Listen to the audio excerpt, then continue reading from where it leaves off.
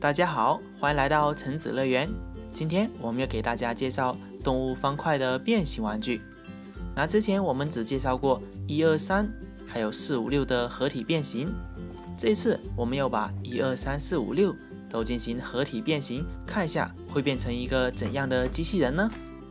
我们把二号、三号还有四号的变形方块叠在了一起，然后把五号变形方块放到了最上面。转过来之后，变成了一个机器人的正身。接下来，我们用这个黄金的变形方块装到机器人的胸前，作为护甲。然后这是一号方块，一号方块可以变成机器人的左手。让我们来变形一下。那首先是把它变成方块音的模式。然后把其中的一半合起来，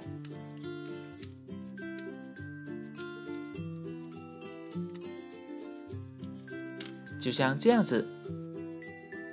再把它安装到机器人的左手上。大家看，机器人的左手就装好了。接下来是六号的方块大猩猩，它也可以变成机器人的右手。那它经过简单的变形就可以了。再把它安装到机器人的右手上。六号的方块大猩猩手是可以伸长的。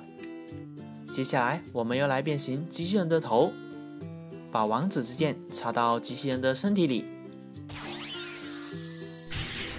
再通过旋转，那机器人的头就出现了。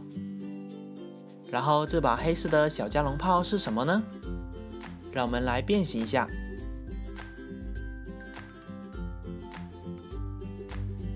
原来它可以安装到机器人的头上，这样子看上去很酷呢。这把王子之剑是机器人的武器，可以装备到左手上。机器人的右手还可以发射呢，让我们来发射看一下。哇，好厉害啊！这样子，我们的变形大合体就完成了。那你们都知道一号到六号的方块分别是代表什么动物吗？如果你们知道的话，可以在视频下方给我留言哦。我们下期再见，拜拜。